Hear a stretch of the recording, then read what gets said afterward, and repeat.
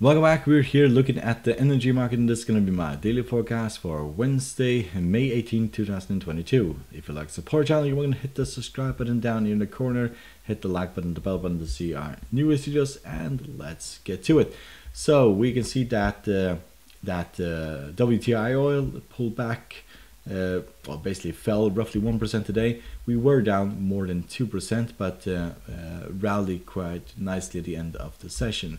So we did break out of this triangle, and uh, since then we have basically been rallying, and today we had a minor pullback. So if we, we kind of bounce from this line and um, breaking into the line again, then we'll most likely see uh, additional selling pressure. But as we basically uh, rallied from uh, this line, then we may see, may see this uh, continuing rallying to the upside.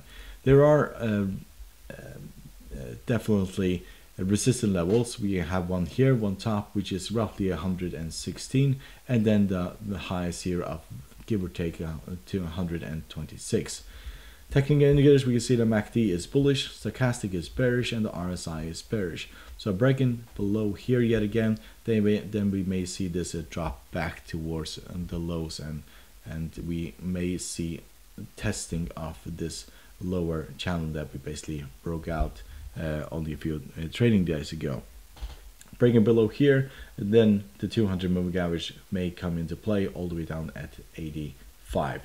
So let's look at natural gas, and natural gas just continues rallying to the upside.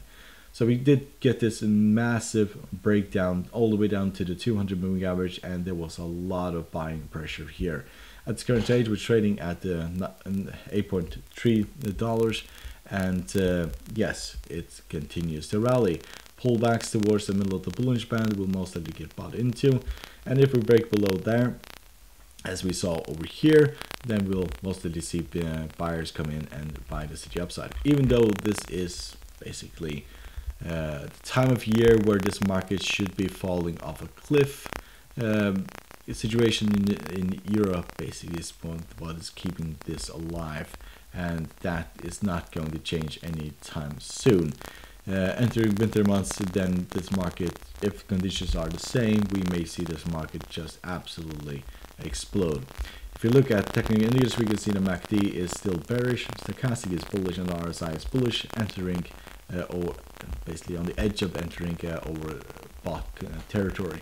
So we're also heading towards the top of the Bollinger Band and towards this area here of roughly $9, which was massive resistance in the past. Breaking above that, then we may go to 9.5.